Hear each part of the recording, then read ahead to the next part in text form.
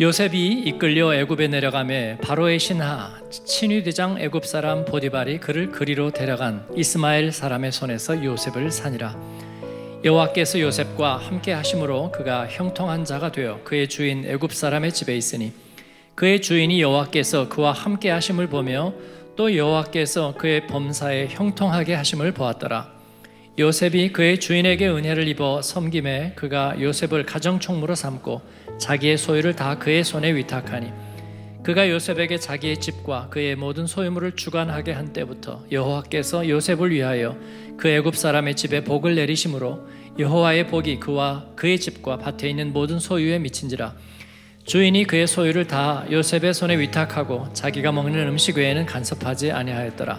요셉은 용모가 빼어나고 아름다웠더라 아멘. 오늘 큐티 본문 말씀이면서 오늘 주일 본문이 되는 창세기 39장 1절에서 6절 말씀은 아마도 제가 그리고 많은 그리스도인이 구약 성경 창세기에서 가장 좋아하는 본문이지 않을까 생각합니다.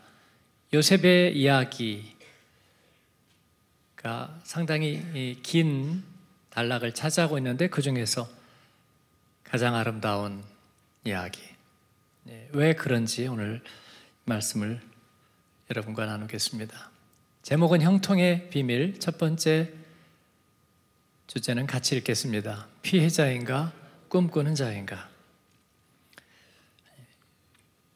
요셉은 어, 이집트의 파라오의 경호대장, 시위대장의 집에 노예로 팔렸습니다. 고대 근동과 이집트 사이에는 이 무역이 활발했는데 그 중에서도 노예 무역은 빼놓을 수 없는 것이었습니다.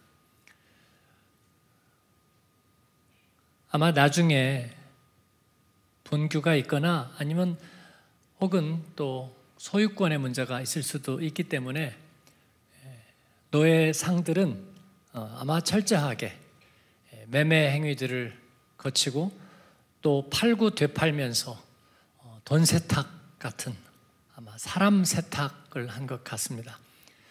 어, 요셉은 이스마엘 사람들이라고 하는 그 노예 매매 브로커의 손에 의해서 아마 비싼 값에 경호대장 집에 팔렸습니다. 미소년들 또 어, 영특하고 어린 노예들은 높은 값으로 우대를 받았고 젊고 또 영특한 이 요셉은 아마 아, 비싼 값에 매매가 돼서 이 경호대장의 집에 팔리게 되었을 것입니다. 저희가 관심을 갖는 것은 그 요셉의 미래의 삶에 영향을 미칠 수 있는 것이 무엇이었을까 하는 것을 여러분과 함께 나누려고 하는 것입니다. 이 요셉에게 어떤 선택의 여지가 있을까요? 그는 지금 가진 것은 아무것도 없습니다. 아무것도 없는 사람이라면, 그리고 가장 밑바닥에 나락에 떨어져 있는 인생이라면, 그에게는 그 외에 무엇이 있을까요? 그의 뒷배가 되고 그를 도와줄 사람도 사실상은 없습니다. 그런 상황에 우리가 처해져 있다면 무엇이 그에게 남아 있을까요?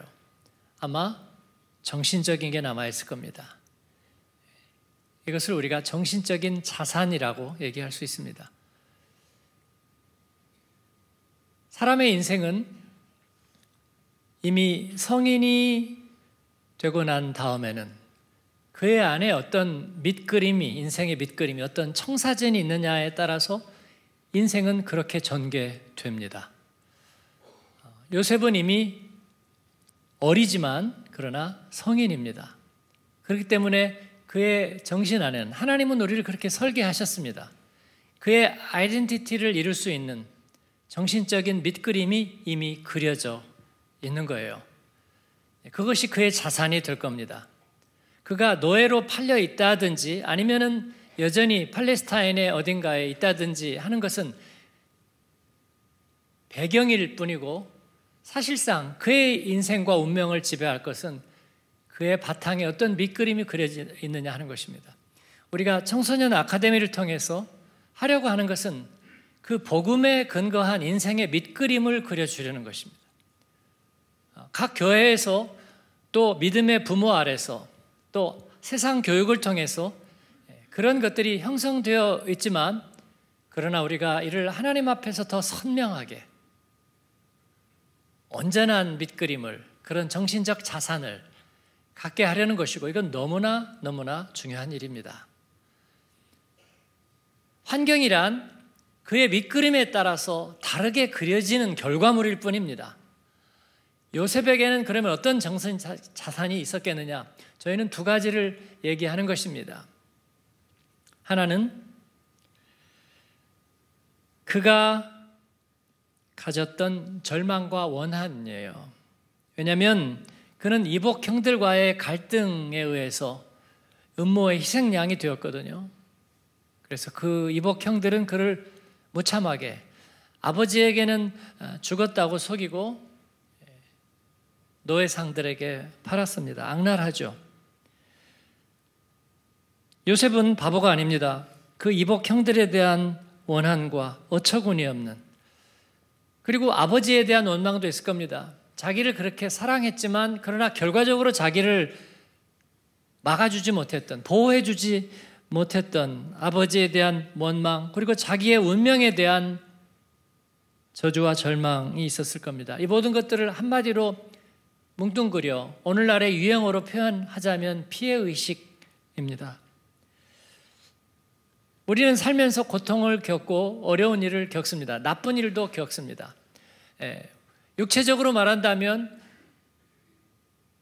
병이 발생하거나 아니면 우리의 기관에 문제가 생겨서 수술을 받기도 합니다. 그런데 수술을 받으면 그래서 그 원인을 제거하면 그만입니다. 또 어려운 일을 겪을 때 어려운 일을 겪었던 시간이 지나가면 그만입니다. 이제 지나간 겁니다. 수술을 해서 떼어낸 겁니다. 아팠다가 나은 겁니다. 이별을 했지만 그 순간이 지나간 겁니다. 그러면 그 고통만 겪고 지나가야 되는데 그런데 그렇지가 않습니다. 우리 안에서 그걸 보내지 않는 것입니다. 옛날 한용운의 시처럼 님은 갔습니다. 그러나 나는 님을 보내지 아니하였습니다. 그런 거죠. 보내지 않는 거예요. 내 상처를 트라우마로 내 안에 잡아두는 거예요. 그뿐만이 아닙니다. 그 고통받은 그 부분만 고통이라고 여기는 게 아니라 그 외에 다른 것도 다 그 고통의 빛깔로 물을 들이는 것입니다. 그래서 좋았던 순간도 아름다웠던 기억도 사랑했던 추억도 그 모든 것도 다 고통으로 물을 들여버리는 것입니다. 이것이 피해 의식입니다. 요셉은 충분히 그러고도 남습니다. 왜냐하면 그럴 정도의 어려운 일이었기 때문에 그렇습니다. 요셉은 아마 남은 인생을 계속해서 그 피해 의식 속에서 살 수 있겠습니다. 즉 자기 인생의 밑그림이 그 피해 의식이 될 수 있겠습니다. 마치 세인트 헬레나 섬에 유배당한 나폴레옹처럼 말이죠. 그 앙골라 서부 아프리카 서안에 있는 세인트 헬레나 섬은 아름다운 섬이고 또 풍광도 좋고 좋은 커피도 나고 유배당한 나폴레옹은 아마 그곳에서 마음 편하게 여생을 보낼 수 있었을 겁니다. 그를 감시해야 되니까 물론 그가 누릴 수 있는 것도 좋습니다. 왜냐하면 그를 힘들게 만들어 놓으면 나폴레옹이 또 거기를 탈출해야 하면 안 되잖아요. 그러니까 그를 유배시켰지만 어느 정도 잘 살 수 있게 해줬단 말이에요. 그래서 나폴레옹은 거기서 마음 비우고 편안하게 커피 마시면서 살 수 있었습니다. 그런데 나폴레옹 거기서 6년밖에 살지 못했어요. 왜냐하면 그의 원한과 분노와 그 절망이 너무나 컸기 때문입니다. 그는 아마 계속된 넋두리, 푸념과 그리고 원망 속에서 남은 세월을 보낸 것 같습니다. 오래 살지 못했습니다. 영화 아마데우스에 보면 모차르트를 질투했던 살리엘이라는 천재 궁정음악가가 나옵니다.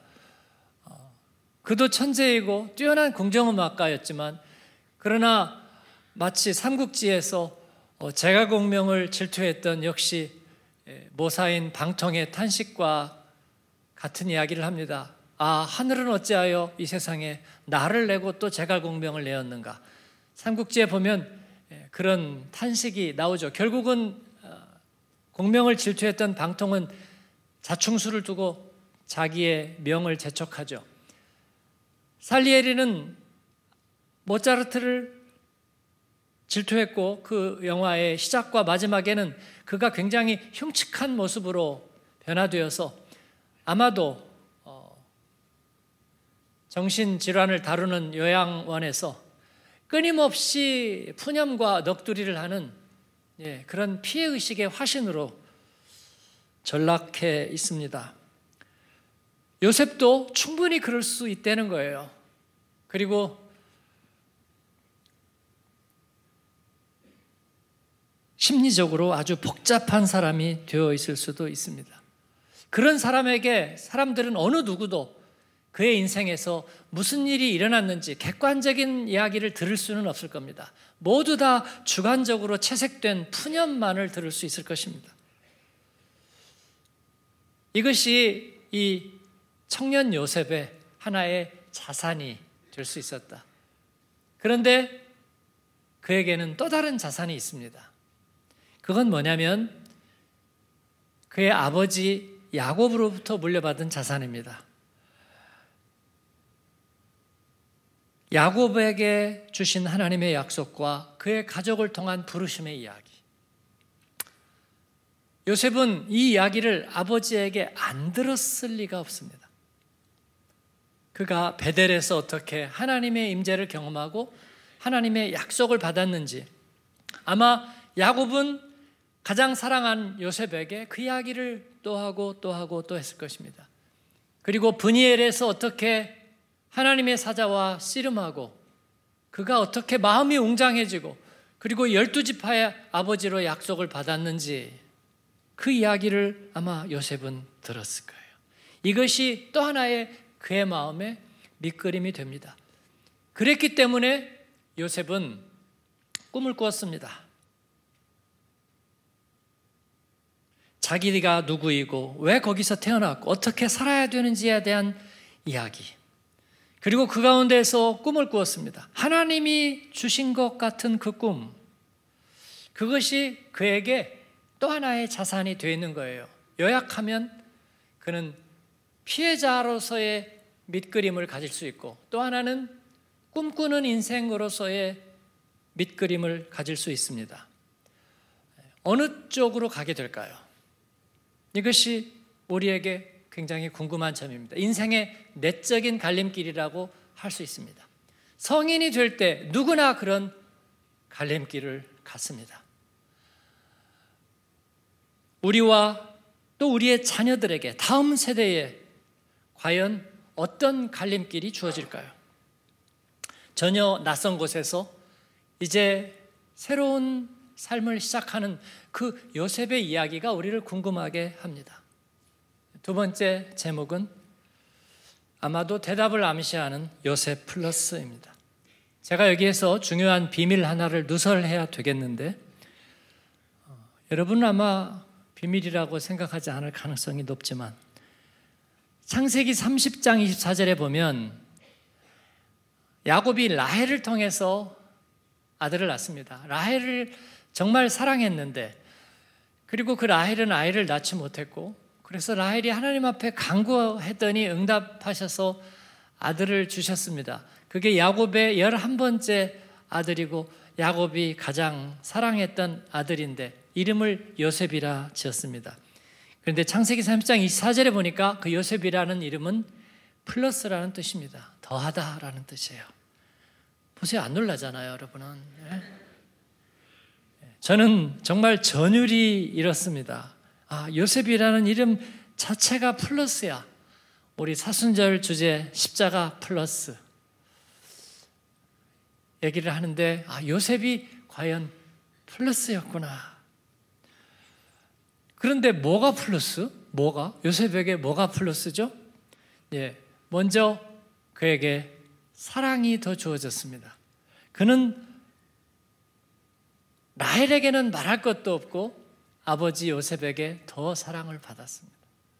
그런데 이것이 세상적으로는 불편했어요. 가끔 우리가 말합니다. 학교에서 선생님이 어, 나를 이뻐해서 그래서 애들에게 질투를 받고 그래 나는 그게 싫어. 선생님 나 이쁘다고 하지 마세요. 네. 우리는 세상에서 일을 불편합니다. 플러스가 불편해요. 그래서 마이너스인 게 편한 사람들 많아요. 그래서 자기를 헐뜯어요. 자기를 깎아요. 아, 나는 아무것도 안 해요. 뭐 내가 있어서 무슨 도움이 되겠어요? 그냥 알아서 하세요. 예, 그리고 자기를 마이너스로 만들어. 왜냐하면 그게 편하기 때문입니다. 세상에서는 그렇기 때문이에요. 플러스를 누리지 못해요. 실제로 야곱, 아, 야곱이 이 요셉을 더 사랑한 것은 세상적으로 볼 때 분명히 공정하지 못한 편애였습니다. 이로써 아버지와 그 배다른 형들과 요셉 사이에는 절망의 삼각관계가 생깁니다. 불편한 플러스였습니다. 저도 그렇게 생각했습니다. 그런데 성경을 보고 믿음의 길을 가면서 제가 불현듯 깨달은 것은 요셉이 겪은 것은 편해도 불공평한 운명도 아니라 그는 사랑받도록 더 사랑받도록 태어났다는 것입니다. 이것은 하나님의 선물입니다. 그러고 보니까 눈물이 나려 합니다. 여러분, 하나님의 사랑받은 존재인 것을 인정하시기 바랍니다. 여러분은 하나님의 선물입니다. 그것 때문에 누군가 불편해요. 라고 소리치지 마십시오. 내가 누리는 것 때문에 저 남반구에 죽어가는 사람이 있어요. 그렇게 말하지 마십시오. 그거는요, 이데올로기예요. 사랑받는 사람의 고백은 아니에요, 여러분. 내가 하나님의 더 사랑받은 자가 되었습니다. 이것이 우리의 의식이 되길 바랍니다. 뭐가 또 플러스냐고요? 요셉에게는 꿈이 주어졌습니다. 그 형들이 꾸지 못한 꿈을 꾸었습니다. 형들의 곡식단이 자기 곡식단에게 절하는 꿈. 해와 달과 열한 별이 자기에게 절하는 꿈. 그는 어, 연약 했죠. 그래서 과보호를 받았습니다. 일도 안 하고 집에 있었습니다. 잔치 옷을 입고 있었어요. 여러분, 1년 12달 생일 꽃갈 쓰고 있다고 생각해 보세요. 그거 별로 기분 안 좋아요. 형들이 들어다가 에이, 현찮은 녀석. 그리고 잔치 옷을 입고 있어요. 잔치 옷을요. 때때 옷을 입고 있어요. 네. 아마도 그에게 뭔가 핸디캡이 있지 않았을까 저는 그렇게 생각합니다. 그런데 그에게 꿈 플러스가 주어졌습니다. 자기가 원해서 큰 거 아니에요. 네, 처음에는 그게 무엇을 의미하는지를 몰랐습니다. 그것 때문에 형들의 미움을 샀습니다. 자기가 하려고 했던 거 아닙니다.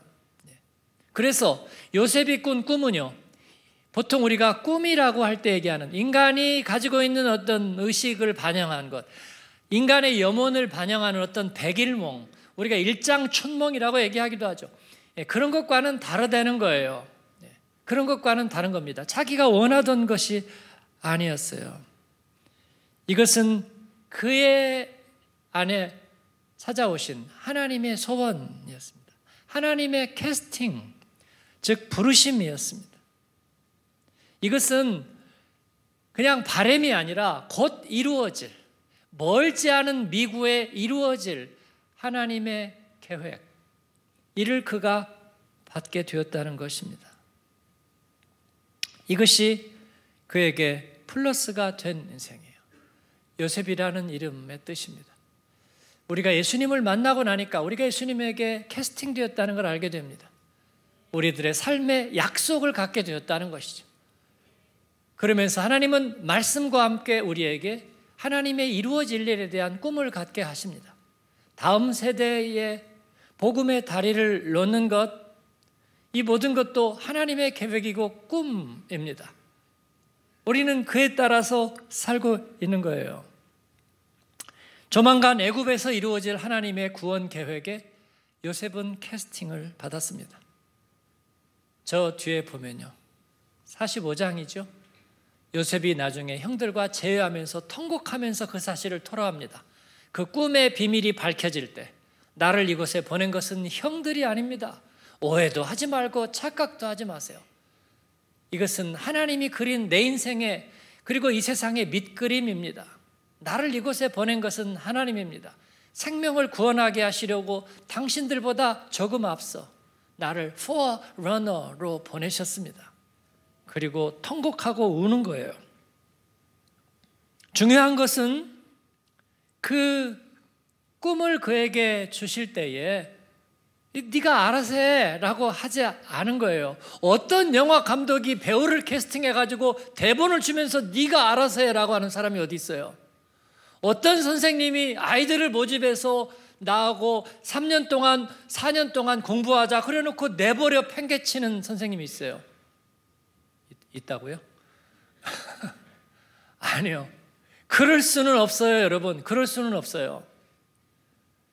그 사람은 이제 거기에 계약을 하고 모든 것이 구속이 되는 거예요. 여러분, 전속 계약이라는 게 그런 거잖아요.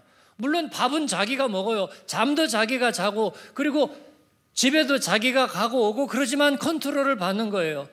스케줄에 우선순위가 있는 거예요. 그 사람의 뇌리 속에 내가 뭔가 주장할 권리를 갖고 있다고 하는 거예요. 그래서 어디 있어요, 지금? 예. 우리 대본 같이 읽어야 돼. 우리 미팅이 있어. 그리고 홍보하고 후원하는 데 가서 우리가 가서 같이 마케팅 해야 돼. 또 시사회에 가서 해야 돼. 몸 잘 만드세요. 그리고 잊어버리지 마세요. 쓸데없는 짓 하지 마세요. 휴가 갈 때도 나한테 얘기하고 가세요. 여러분 이것이 임마누엘입니다. 함께 있는 거예요.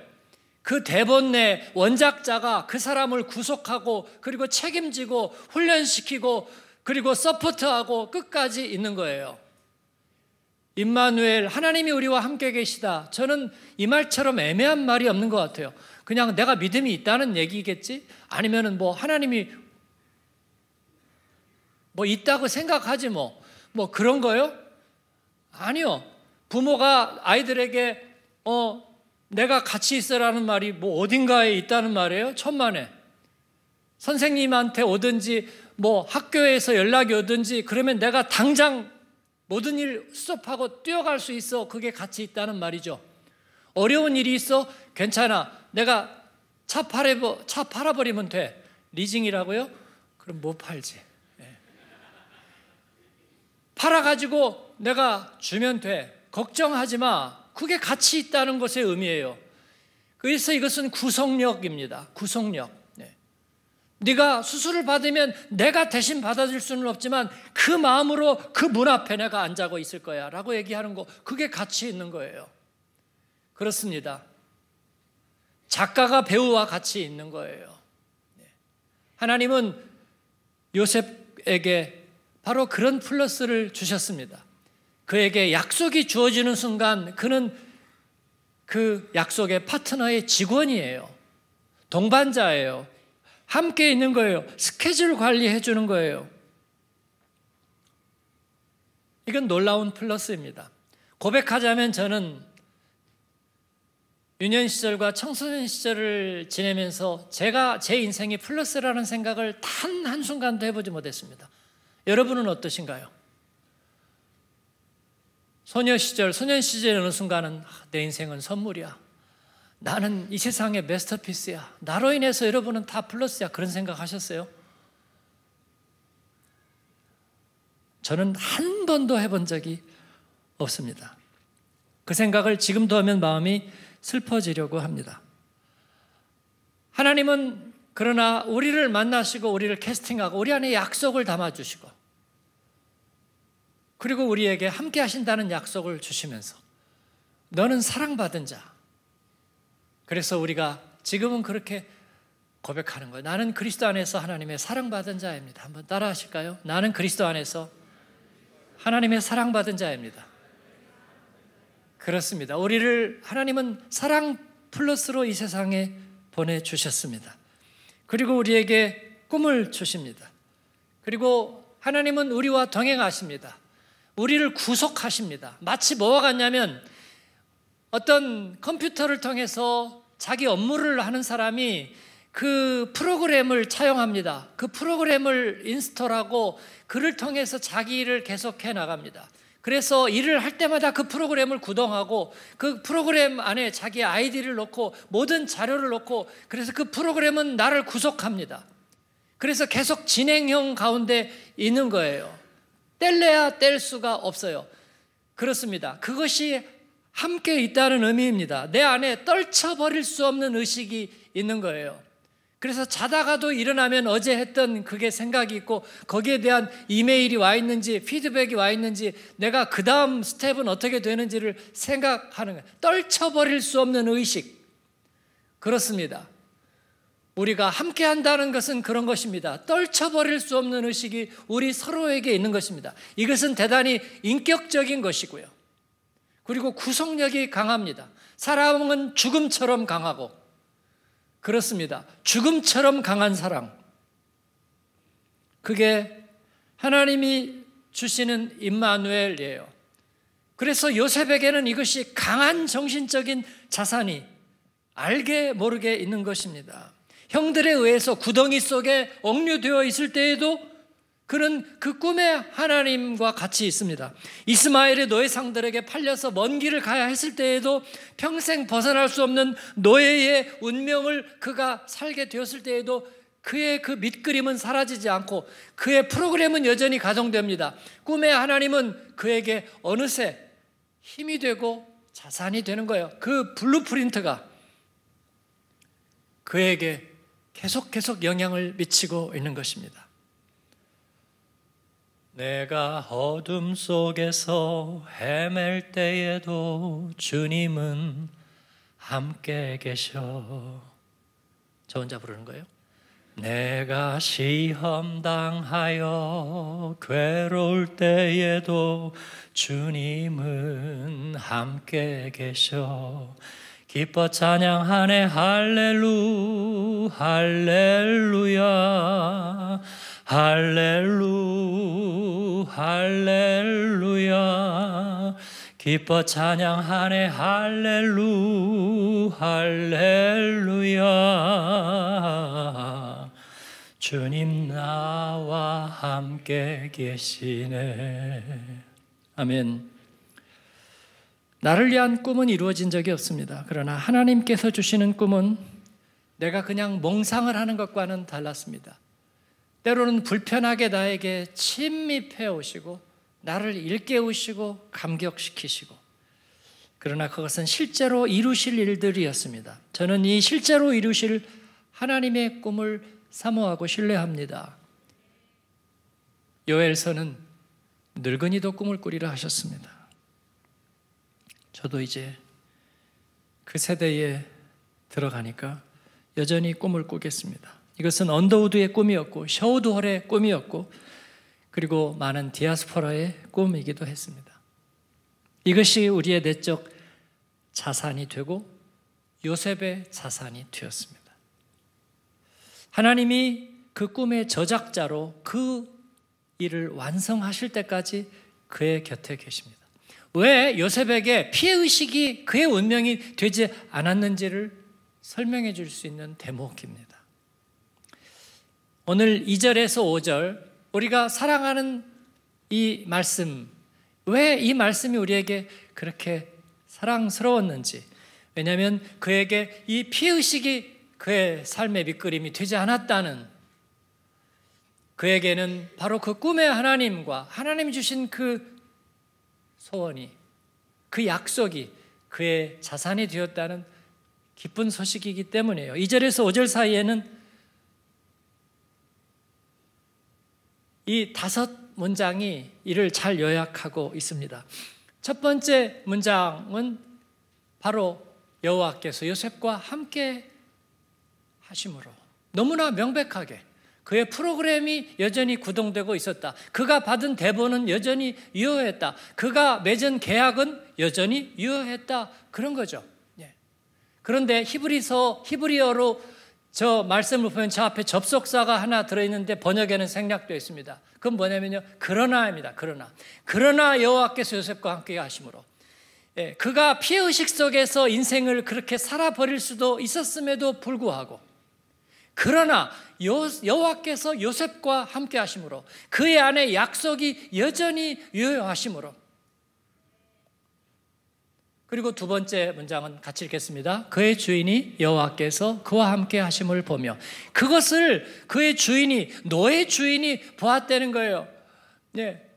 그냥 영특해서가 아니에요. 그냥 용모가 빼어나서가 아니에요. 그에게는 뭔가 다른 자산이. 왜냐하면 잡혀온 어린 노예를 한두 번 받겠어요. 성인이신데도 노예니까 벌써 눈 깔고 뭔가 자기에게 풀이 죽기는 했지만 그러나 이글거리는 분노와 그의 마음 안에 있는 피해 의식을 어찌 읽지 못할까? 그런데 그에게 다른 것을 보는 거죠. 당연하리라고 생각합니다. 우리 아이들 중에도 눈빛이 반짝이는 애들이 있죠. 이렇게 똑바로 바라보는 애들도 있죠. 경청하는 애들도 있죠. 그렇다고 오늘 집에 가서 너는 왜 눈빛이 반짝거리지? 이게 그냥 그러지 마시고요. 네, 저도 반짝거리지 않는 축에 속했기 때문에. 그런데 그의 안에 뭔가 다른 자산이 있다는 것을 왜 모르겠습니까? 예, 보디발이 요셉을 보면서 바로 그것의 정체를 알았어요. 물어보지 않았겠어요? 너는 왜 그러니? 할 적에 내가 아버지에게서 바라본 것, 어머니에게서 만난 것, 내가 받은 신앙의 유산, 내가 꾼 꿈, 얘기하지 않았겠어요? 하나님께서 나와 함께 했습니다. 그것을 그 주인이 알았다는 거고요. 세 번째 같이 읽습니다. 여호와께서 그의 범사에 형통하게 하심을 보았더라. 아멘. 그렇습니다. 그랬더니 그가 하는 일이 다 잘 됩니다. 하는 일이. 마음이 어리니 하는 일이 다 어리다. 그렇습니다. 그가 잘 되니 모든 일이 잘 되더라요. 그리고 네 번째 X입니다. 여호와께서 요셉을 위하여 그 애굽 사람의 집에 복을 내리심으로 그 애굽 사람의 집에 어, 잘 되어야 하는지는 모르겠습니다. 그래서 아마 그 나라에 해악을 끼치는 권력자일 수도 있습니다. 그런데도 말이죠. 거기에 있는 사람이 복됨으로 그 사람 주위에 있는 일은 다 복된 거예요. 여러분. 다섯 번째 읽겠습니다. 여호와의 복이 그의 집과 밭에 있는 모든 소유에게 미친지라. 그렇습니다. 어떻게 채소가 복될 수 있죠? 어떻게 밭농사가 과수원 농사가 복될 수 있죠? 그걸 돌보는 사람이 복되면 그 모든 것이 복되게 되는 것이에요. 형통의 의미로 넘어갑니다. 하나님이 요셉과 함께 계셨다는 것입니다. 이미 우리가 알게 되었습니다. 야곱에게 약속하신 것과 같이 내가 너와 함께 있어. 네가 어디로 가든지 너를 지키고 그리고 모든 길에서 너를 돌아오게 할 것이다. 완성시킬 것이다. 고 약속하시죠. 그 약속이 그 약속의 대상자를 존귀하게 만든다. 제가 그랬습니다. 미션이 있는 사람은요, 눈이 깊어지고 생각이 웅장해집니다. 미션 있는 사람들은 그렇습니다. 위기 관리 능력이 생깁니다. 품을 수 있고 인내할 수 있습니다. 하나님은 우리에게 그러한 덕목들을 주셨습니다. 그래서 여러분, 인생의 마지막 노년을 사는데 돈이 있어야 되는 게 아닙니다. 미션이 있어야 됩니다. 미션을 잃어버리면 여러분의 인생은 푸석푸석해질 겁니다. 나이 탓이 아닙니다. 그래서 저는 하나님 앞에 설 때까지 어떻게 미션을 이어갈 것인가 그걸 강구하고 있습니다. 편안한 노년과 편안한 죽음을 주옵소서. 글쎄요, 그건 별로 지혜로운 기도 같지 않습니다. 예. 비싼 누빈 바지 등산복 입고 산을 오르게 하옵소서. 그건 저의 기도 제목이 아닙니다. 전원주택에서 꽃 키우며 살게 하옵소서. 그건 저의 기도 제목이 아닙니다. 하나님 앞에 미션을 이루고 살게 하옵소서. 왜냐하면 그게 건강해지는 비결이기 때문이고요. 미션이 있어야 우리는 그 가운데에서 지혜가 생기고 인내가 생기고 그리고 존귀함을 잃지 않고 여러분은 인생의 마지막에 존귀함이 하나도 없는 아무 능력도 없는 아무도 내 말에 귀 기울이지 않는 그런 천덕꾸러기가 되고 싶습니까? 그러지 않을 겁니다. 믿음의 적장들은 마지막 숨을 거두기까지 자녀들을 축복했는데 자녀들이 기대만 땅, 호기심만 땅, 그리고 두근거림만 땅. 그래서 그 앞에 엎드리고 무릎을 꿇었습니다. 아버지 나를 축복해 주세요. 그래서 어두워지지 않는 지각으로 그들을 위해서 축복했습니다. 문하세와 에브라임을 향해서는 야곱이 우수와 좌수를 바꿔서 얹고 그들의 미래를 예고합니다. 약속이 있는 사람은 존엄합니다. 우리는 약속이 있는 교회입니다. 미션이 있습니다. 영원 추수의 마지막 때에 우리는 그 비밀의 한 축을 쥐고 있습니다. 우리는 예수 믿는 게 전부인 것처럼 보이지만 그러나 우리는 이 세상과 다음 세대에 대해서 하나님께서 이루어갈 대본의 한 자락을 우리는 주고 있다고 믿습니다. 우리는 다음 세대에 특화된 교회로 쓰임 받을 것입니다. 그러기 위해서 타임지나 슈피겔지를 읽어야 될 것은 아닙니다. 하나님의 말씀을 받은 이들이 그 주님의 다음 세대를 함께 이루고 갈 거예요. 하나님은 요셉의 모든 일을 잘 되게 하셨습니다. 왜 아니겠습니까? 요셉 때문에 지금 보디발의 집이 전부 다 묻어가는 것입니다. 제가 이렇게 세상적인 표현을 써서 죄송하지만 저는 한마음 교회 우리가 복음을 생각하고 하나님을 우리가 여기에서 자신의 이해관계를 위해서 뭔가를 도모하는 거 아니잖아요. 우리가 주님 만나고 하나님의 영광을 구하고 물론 우리가 열심히 살죠. 장사하여 이윤을 남기죠. 최선을 다하죠. 그러나 오직 하나님의 영광을 구하는 그 정직함과 순수함과 진실함이 우리가 원래는 그러지 않은 사람들이었지만 점점 점점 깊어가면서 우리는 순수한 공동체가 되고 그리고 이타적으로 다른 사람에게 복음을 전하고 그들을 돌보고 코로나 때도 우리가 많은 분들을 용기 있게 성도들이 돌보았습니다. 예, 한국에서는 우주복 입고 무서워할 때 우리는 마스크 하나 쓰고 가서 돌보고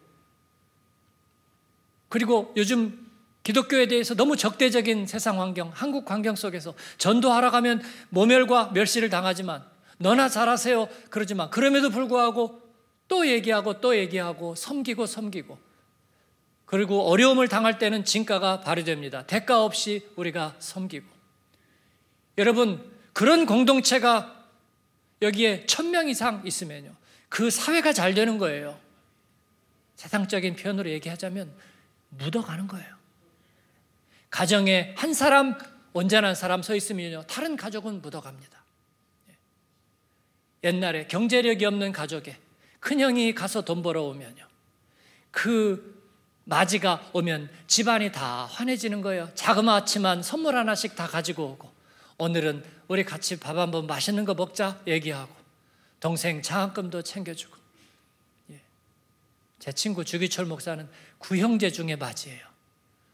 부모님이 늦게 헌신해가지고 저 전남 섬에 가서 목회하는데 경제력이 하나도 없어요.